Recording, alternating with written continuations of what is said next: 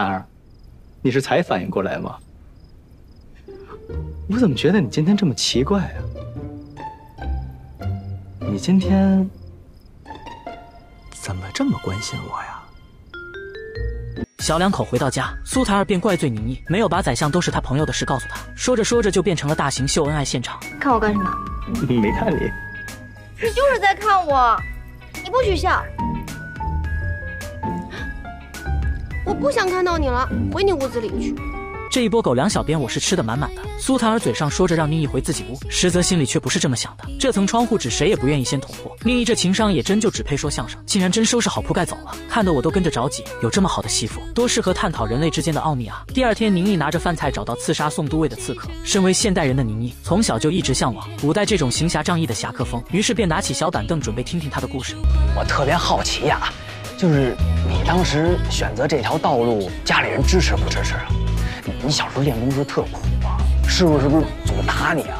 哎，你爹支持你当刺客吗？宁毅的一顿连环夺命问，把陆红提问的有些不耐烦。当他问到为何要杀宋都尉的时候，陆红提却是说了很多。宋宪那个狗官，强抢民女无恶不作，我等习武之人为的就是匡扶正义。宁毅看他也算是侠肝义胆，便想着跟他学点功夫。你没戏，为什么呀？高手没你话这么多。而另一面，一直主战的秦老回到朝廷后，拿出先帝驾崩之时托孤给他的一封遗诏。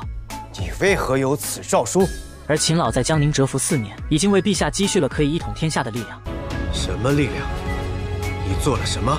火器。臣在临安建了五朝最为庞大的军需仓，现有黑火药五十万斤。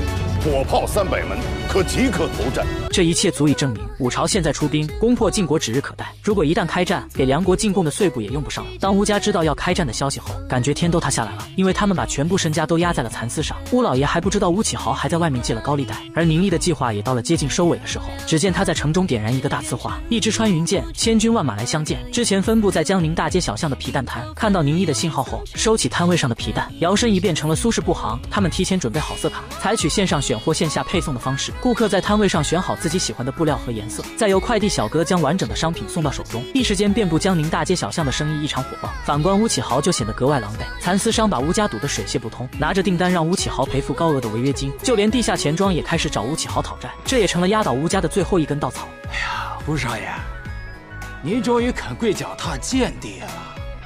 老板，你别着急嘛，我以乌家的信誉给你起誓，我们乌家从来不欠钱，只不过眼下眼下没钱是吧？